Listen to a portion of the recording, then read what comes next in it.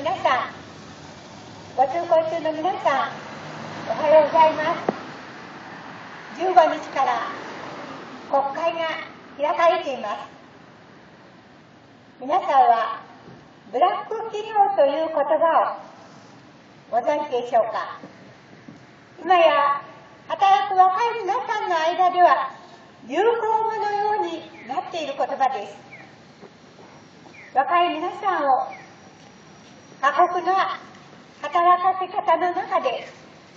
過労死や自殺に追い込んでしまうような今の働き方を批判する言葉としてブラック企業という名前が生まれてきました。4月の参議院選挙では日本共産党は働き方を生きがいのある働き方にしていかなければならない非正規の雇用の拡大ではなく正規の雇用の拡大をしていくこの立場で皆さんにブラック企業根絶このことを訴えさせていただきました。若い皆さんに共感を呼びました。そして参議院では大きく飛躍をさせていただき、議席を11名と国会で会派として正式に認められ、議案提案権を持つことができる、このような国会での活動ができるようになりました。そこで皆さん、日本共産党は、この議案提案権を得た第1号として、ブラック企業規制法案を提出いたしました。ブラック企業の規制は、どなたでも賛同できることではないでしょうか。今の働かせ方、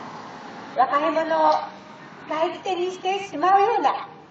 過労死に追い込んでしまうようなサービス残業をさせてそして名ばかり店長のような形で若い皆さんに過酷な働かせ方をするこのようなことが決していいことでないことは皆さんも感じていらっしゃるのではないでしょうか。ですからこのブラック企業を規制していくための法案党派も超えて同じ考え方一致できる皆さんと力を合わせて成立をさせていきたいと思っています。皆さんブラック企業と言われる企業ばかりではありません。今正規の雇用ではなく非正規の雇用が拡大されていく。このような状態こそ変えていかなければならないと考えています。ブラック企業規制のための法案の内容を紹介いたします。まず、第一に、サービス残業はやめさせる。長時間労働をやめさせることです。今、労働基準法に違反するようなサービス残業が、正規の残業では認められないような残業がたくさん進められています。このような中で過労死なども生まれています。そして、第2には、ブラックな実態。このようなブラック企業が、ブラック企業などと言われるようなことはしていない。ワタミの社長さんなども言っているように、このような状況をなくしていきたい。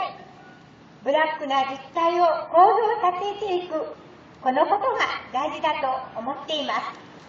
このような内容も盛り込んでいます。そしてまた、第3には、パワハラをやめさせる。今、企業が社員に対して、到底できないような目標も押し付けたりして、それができないと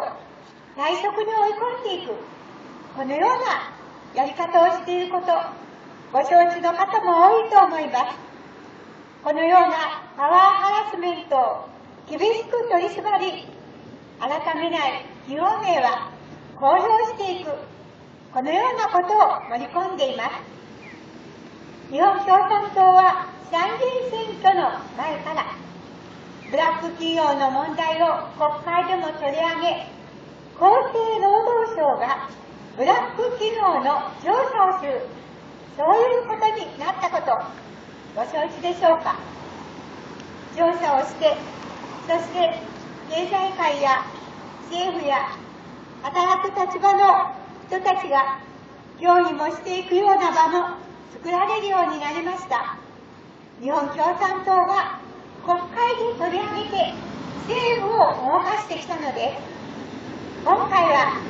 いよいよ国会で正式な場でブラック企業を規制をする法案を提出いたしました。ぜひ皆さん今の働かせ方を働き方を変えて